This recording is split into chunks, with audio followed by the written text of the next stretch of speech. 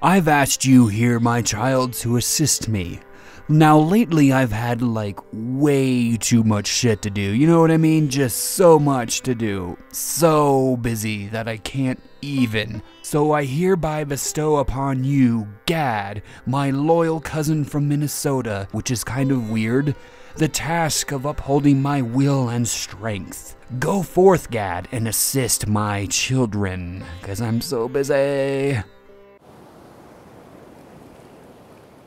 Oh no, it looks like we're headed right for that iceberg. If we hit that thing, we don't stand a chance in fuck. It is just gonna totally wreck us. Fucking dope. I mean, the bottom half of this ship is made of Baked Lay's and tostadas. It is just gonna rip through us like fucking fuck. Shit. No worries, sailor. I have a feeling our terrible, terrible deaths will bank huge at the box office someday. Blech.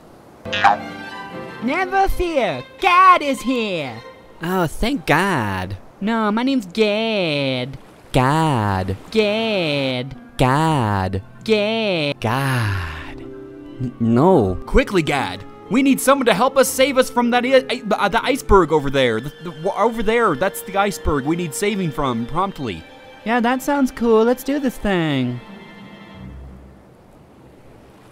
No. Qu- quit it. No. Quit it. Quit it. Quit. Quit. Quit. Quit. Stop. Stop. No. No. No. Iceberg. Yeah, No, don't. I'm gonna. Don't. Ocean. Yeah? Hey, don't. No. No, don't, Ocean. Quit it. Quit it. Quit it. Quit it. Dang. Thanks for trying, Gad. Okay.